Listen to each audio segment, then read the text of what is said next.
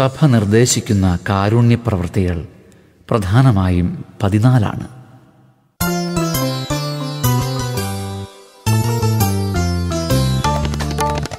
വിശക്കുന്നോർക്ക് അന്നം കൊടുപ്പതും ദാഹിക്കുവോർക്ക് കുടിക്കാൻ കൊടുപ്പതും.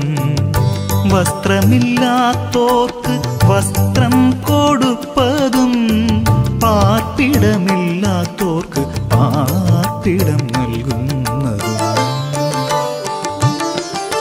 രോഗികളെ തടവിൽ കഴിവോരെ സന്ദർശിപ്പതും അവശരെ താങ്ങുന്നതും മൃതരെ അടക്കുന്നതും.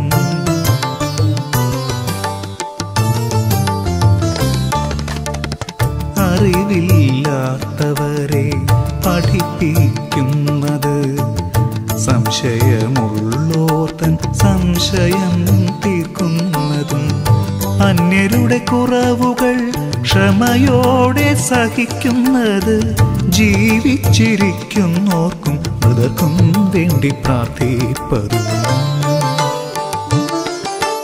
തെറ്റുകൾ ചെയ്തിടുന്നവരെ തിരുത്തിക്കൊടുപ്പതും ദുഃഖിതർക്കാശ്വാസം നൽകി ഉപദ്രവം ക്ഷമിക്കുന്നതും.